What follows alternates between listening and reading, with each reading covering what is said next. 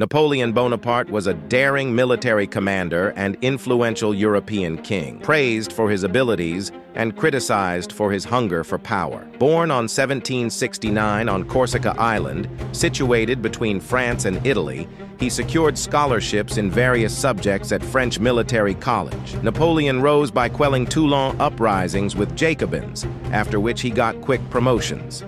Despite setbacks in Egypt, he became a hero through propaganda.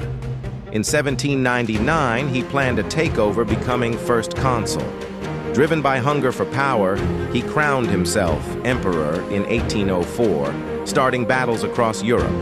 Positive legacies like Napoleonic Code, banking reforms, and education changes, his autocracy contradicted French Revolution's ideals. His defeat in Waterloo Battle led to exile on St. Helena Island, where he died in 1821.